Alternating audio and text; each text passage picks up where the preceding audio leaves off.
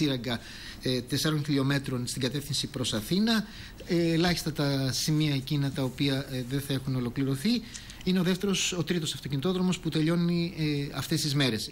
Θα, ακολουθήσει, ε, θα ακολουθήσουν τα 80 χιλιόμετρα που έχουν ολοκληρωθεί στον Ε65, Ξινιάδα Τρίκαλα και σταδιακά μέχρι τα μέσα Ιουνίου, τέλος Ιουνίου, θα παραδοθούν και όλα τα τμήματα της Ιόνιας Οδού. Απομένουν δηλαδή τα κομμάτια Αντίριο Κλόκοβα, Κλόκοβα έως την παράκαμψη του Αγρινίου, Αμφιλοχία Άρτα και Γιάννενα Αγνατία.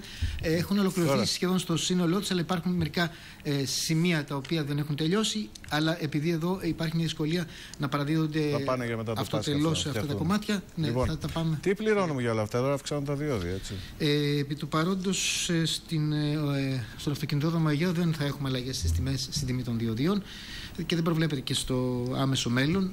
Ε, δηλαδή, το κόστος των οδηγών από την Αθήνα μέχρι Θεσσαλονίκη παραμένει το ίδιο ε, στους, στον αυτοκινητόδρομο της Ολυμπίας Οδού, χωρίς να έχει προσδιοριστεί όμως πότε, θα προσθεθεί ένας σταθμός διοδίων και θα έχουμε τέσσερις σταθμούς διοδίων στην Ιόνια Οδό.